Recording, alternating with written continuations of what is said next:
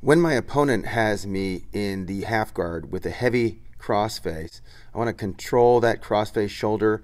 Then I want to tie up his right arm and trap his calf hard, stapling his uh, calf to the mat. Then I take my right foot and I'm going to shift my hip to bump my hip into his knee to put him off balance. Now instead of coming back on top all the way to the top half guard, I want to put him halfway over by swimming my arm and then take my right leg out and then get heavy pressure with a arm under his back. Here it is again.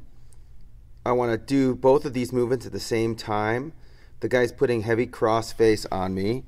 I'm going to trap his right arm, the underhook arm, but this time he posts out, so I'm not able to sweep him. What I do now is I just get an underhook with my left foot, tie up his leg, pivot back to my back, now trap his left arm, the crossface arm. This way he can't post out when I turn back into him to my right to sweep him with a butterfly sweep.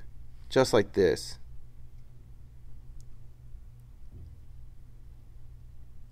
If he posts out, I'm going to scissor sweep him with my right leg.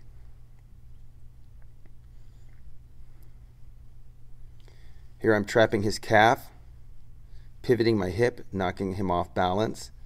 My left arm is controlling his underhook arm. He posts out, so he doesn't allow me to the to my right, so left, so I take him to the right with the scissor sweep.